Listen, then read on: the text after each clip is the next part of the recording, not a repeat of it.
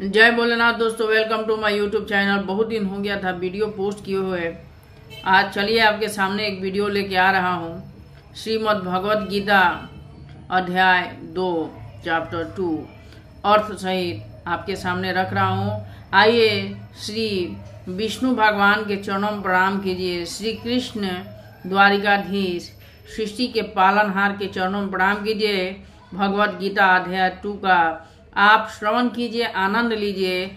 जय श्री कृष्ण जय भोलेनाथ। ध्यानम शांताकारं भुजगशयनं पद्मनाभं सुरेशं। विश्वाधारं गगनसदृशं मेघवर्णं शुभाङ्गं लक्ष्मीकान्तं कमलनयनं योगिभिध्यानज्ञं वंदे विष्णुभवैहरणं सर्वलोकैकनाथम्।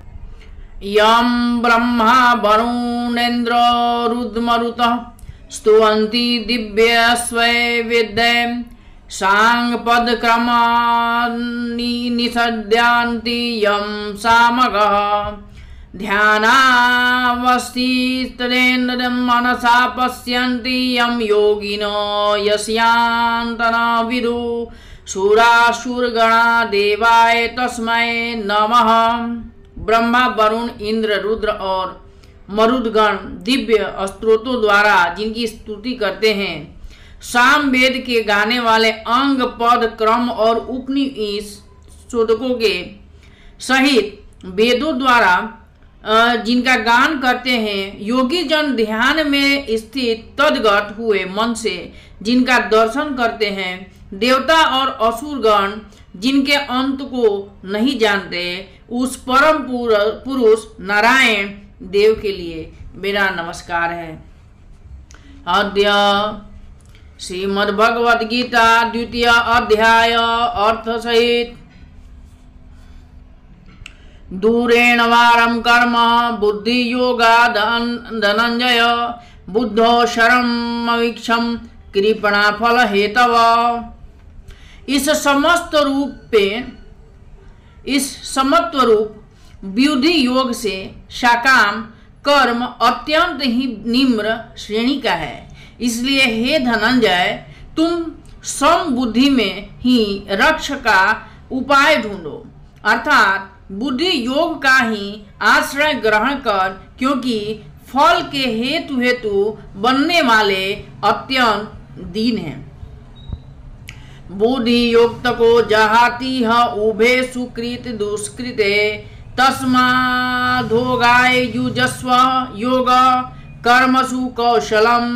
सम बुद्धि युक्त पुरुष, पुण्य और पाप दोनों का इसी लोक में त्याग देता है, अर्थात उनमें मुक्त हो जाता है। इससे तू सम रूप योग में लग जा।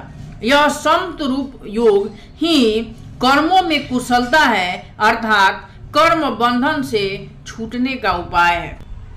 कर्मजम बुद्धि युक्तम हिमफलम त्यक्तवा मनीषिणा जन्म बंध जन्म बंधन विनिर्मुक्ता पदम गच्छम दानातयम क्योंकि सम बुद्धि से युक्त ज्ञानी जन कर्मों से उत्पन्न होने वाले फल को त्याग कर जन स्वरूप बंधन से मुक्त हो, निर्विकार परम पद को प्राप्त हो जाते हैं। यदा ते मोह कलीलम बुद्धि वक्त त्रिष्यति, तदा गंतासी निर्वेदम श्रोत च। जिस काल में तेरी बुद्धि मोह रूप दल दल को भली भांति पार कर जाएगी, उस समय तू सुने हुए और सुनने में आने वाले इस लोक और प्रलोक संबंधी सभी भोगों से वैराग्य को प्राप्त हो जाएगा। श्रुति विपरीतपन्ना ते यदा स्थाति निश्चला समाधवाचला बुद्धिस्तता योगवम योगमावाप्य से भांति भांति वचनों के, वचनों को सुनने से विचलित हुई तेरी बुद्धि जब परमात्मा में अचल और स्थिर ठहर जाएगी, तब तू योग प्राप्त हो जाएगा। अर्थात तेरा परमात्मा से नित्य संयोग हो जाएगा।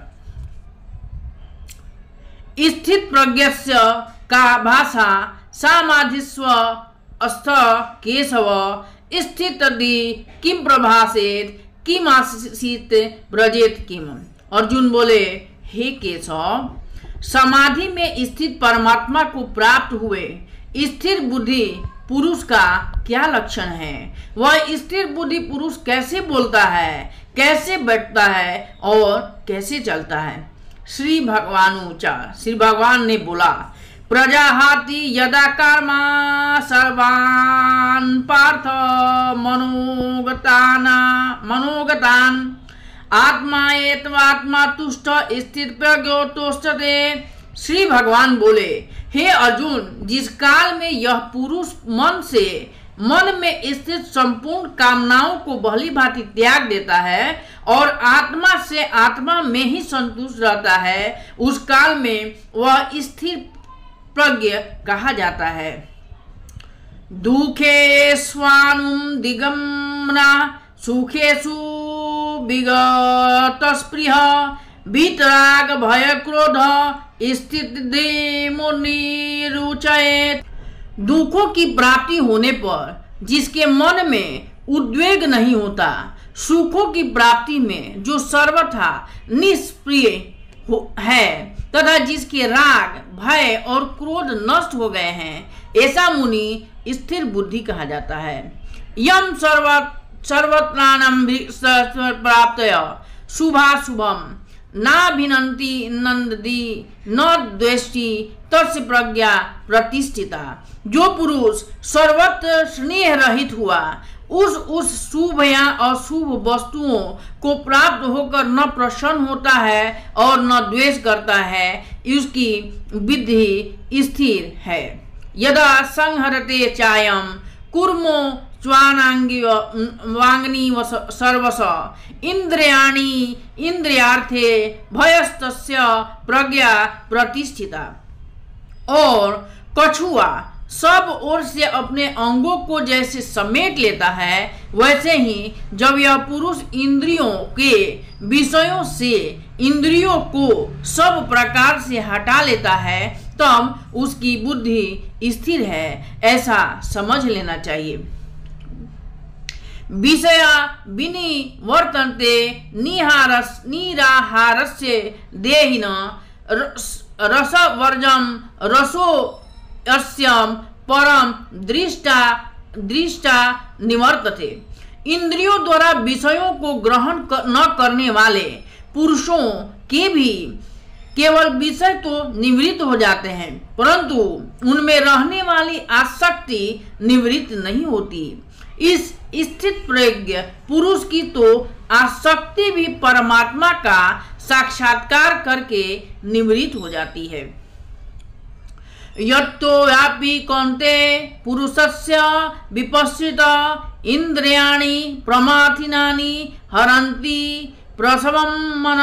हे अर्जुन अशक्ति का नाश न होने के कारण ये प्रथम स्वभाव वाली इंद्रियाँ यत्न करते हुए बुद्धिमान पुरुष के मन को भी बलात् हर ले दे दे तानि सर्वाणि सम्य युक्त आसीत मत्पर, वसे ही यशेन्द्रियाणि तस्य प्रज्ञा प्रतिष्ठिता। इसलिए साधक को चाहिए कि वह उन संपूर्ण इंद्रियों को वश में करके समाहित चित हुआ मेरे परायण होकर ध्यान में बैठे। क्योंकि जिस पुरुष की इंद्रिया वश में होती है, उसकी बुद्धि स्थिर हो जाती है। ध्याय तो विषयान पुंस संगस्ते सुपजायते संगास्ते जायते काम काम क्रोध भी जायते विषयों का चिंतन करने वाली पुरुष की उन विषयों में आसक्ति हो जाती है। आसक्ति से उन विषयों की कामना उत्पन्न होती है। और कामना में विघ्न पड़ने से क्रोध उत्पन्न होता है। क्रोधात भवती सम्मोह, सम्मोहात मृति विभ्रम स्मृति भंसाद बुद्धि नाशो बुद्धि नाशम प्रणश्यति क्रोध से अत्यंत मूड भाव उत्पन्न हो जाता है। मूड भाव से स्मृति भ्रम हो जाता है। स्मृति में भ्रम हो जाने से बुद्धि अर्थात ज्ञान शक्ति नाश हो जाती है और बुद्धि का नाश हो जाने से यह पुरुष अपनी स्थिति से गिर जाता है। राग द्वेष वियुक्तस्तु विषयांद्रिनिश्चयश्चन आत्मवश्योत विद्येतात्मा प्रसादामधिगच्छति। परंतु अपने अधीन किए हुए अंत करण वाला साधक अपने वश में की हुई राग द्वेष रहित इंद्रियों द्वारा विषयों में विचरण करता हुआ अंत करण की प्रसन्नता को प्राप्त होता है। प्रसादे सर्व दुखानाम हानि रस्योपजायते प्रसन्न चेतसो हास्यु हास्यु बुद्धि पर्यवधिष्ठते अंतकरण की प्रसन्नता होने पर इसके संपूर्ण दुखों का अभाव हो जाता है और उस प्रसन्न चित वाले कर्म योगी की बुद्धि शीघ्र ही सब ओर से हटकर एक परमात्मा में ही भली भांति स्थिर हो जाती है। नास्ति बुद्धिरयुक्त न चायुक्त भावना, न चा भावयत शांति शांत कुत सुखम। न जीते हुए मन और इंद्रियों वाले पुरुष में निश्चय बुद्धि नहीं होती है। और उस आयुक्त मनुष्य के अंतकरण में भावना भी नहीं होती, तथा भावनाहीन मनुष्य को शांति नहीं मिलती है। और शांति रहित मनुष्य सुख कैसे मिल सकता है? इंद्रियाणाम ही चरताम यनमनो विधीयते तदस्य हरति प्रज्ञा वायु नारमा विवाबसी क्योंकि जैसे जल में चलने वाली नाव को वायु हर लेती है, वैसे ही विषयों में विरचती हुई इंद्रियों में से मन जिस इंद्रिय के साथ रहता है, वह एक ही इंद्रिय इंद्रिय इस आयुक्त पुरुष की बुद्धि को हर लेती है। तस्मादस्य महाबाहो निगृहतानि सर्वस इंद्रियाणी निगृहस्थ प्रज्ञा प्रति स्थिता। इसीलिए हे महाबाहो, जिस पुरुष की इंद्रियाँ, इंद्रियों के विषयों के सब प्रकार निग्रह की हुई है, उसकी बुद्धि स्थिर है। या निशा सर्वभूतानाम तस्याम जागृति संयमी यस्याम जागृति भूतानि, सा निशा पश्यतो मुने। संपूर्ण प्राणियों के लिए जो रात्रि के समान उस नित्य ज्ञान स्वरूप परमा, परमानंद की प्राप्ति में स्थित प्रज्ञ योगी जागता है और जिस नासवान सांसारिक सुख की प्राप्ति में सब प्राणी जगते हैं, परमात्मा के तत्व को जानने वाले मुनि के लिए वह रात्रि के समान है। आपुण्यमालं चलं प्रतिष्ठं समुद्रमाप प्रवेश, प्रविशन्ति यद्युत।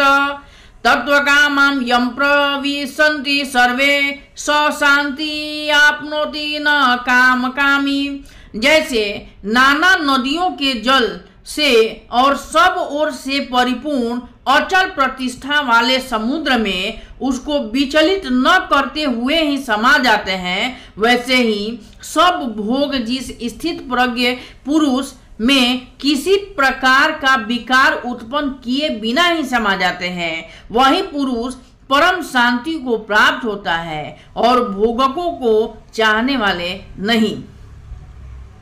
विहाय कामान्य सर्वापुमांचरित निष्प्रिय, निर्ममो निरंकार, स शांति मधि गच्छति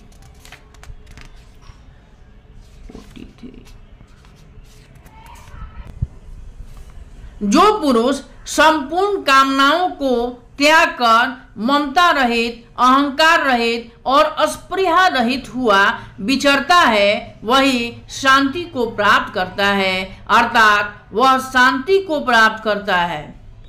ऐसा ब्रह्म स्थितो पार्थनय नाम प्राय विमुहति स्थित्वां त्वं काले ब्रह्मा निर्वाणम रिष्यति। हे अर्जुन यह ब्राह्मण को, ब्रह्म को प्राप्त हुए पुरुष की स्थिति है। इसको प्राप्त होकर योगी कभी मोहित नहीं होता और अंत काल में भी इस ब्रह्मी स्थिति में स्थित होकर ब्रह्मानंद को प्राप्त हो जाता है। ओम तत्सदिति श्रीमद भगवत गीता सुपानिस्तु ब्रह्म विद्या योग शास्त्रे श्री कृष्ण कृष्ण अर्जुन संवादे सांख्य योग्य नाम द्वितीय अध्याय। विष्णु भगवान कीजिए कृष्ण भगवान की जय। भगवत गीता महाकाव्य की जय। Thank you for watching this video kindly like and subscribe और शेयर कीजिए ज़्यादा से ज़्यादा और हमारे चैनल को सब्सक्राइब कीजिए। धन्यवाद।